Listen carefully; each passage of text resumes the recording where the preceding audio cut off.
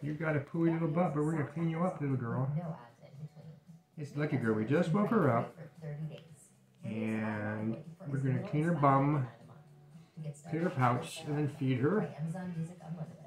She'd come around here and get this angle. She's so cute right here. What's up, little girl? You're so beautiful. A beautiful girl. Yes.